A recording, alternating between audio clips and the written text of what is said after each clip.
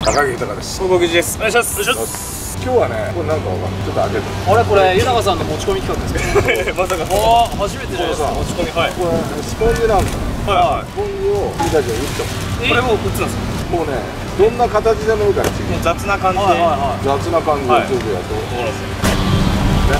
はい。これを実際投げて、ある人とコラボするつもりだったんだけど種明かしするとキャッチボールのところに俺ら入ってくる手だったわはけキャッチボール止められた。からい確かに嫌な嫌な予感はしましたけど嫌なよはい。今日はね夏休み最後の土曜日だいつものグラウンド、はい。い、や俺嫌な予感したんだよ、やっぱり最後の日曜日お父さんたちを焼きあんじゃないいやそうっすよねやっぱ。チームが貸し切りうで俺が言ったところは全面工事とで マンションの裏に来たら、キャッチボールはやめろと、もうどうすりゃいいんだって、俺も見た瞬間に下がったからほんでこれちぎってどうするんだ。バットなんかもちろん触れないだろここで。もう厳しいよ。はい嬉しいんで、まあ、だからまあ豊さんちをこれで綺麗にすああいいっすね。いやいやもうこれもうやけくそでちぎり倒すよいや。いやちぎる企画ですそういう企画にしましょうかも。うこれで一本。もうね普通のお前キャッチボールできなかったら何もできない絶対できない追い込まれてますねこれ追い込まれて何やりますこれできないし、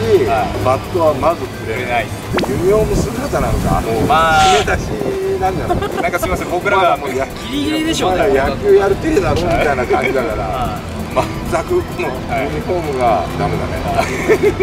どうします？この激落ちについて語りますか？これね結構落ちる。よこれ自分も愛用してます。本当もう何でも落ちますよこれは。俺らの時なかった。のボール係ってあるじゃん。あります野球は。10円ボール係です。そうだね、あれさ布で普段で水あんまりつけれないじゃん、はい。落ちない。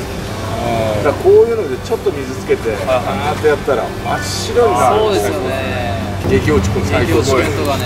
企画やね シリーズ第1弾。おやきシリーズもいいね。たまにやりたい放題ここで。さようなら。さよなら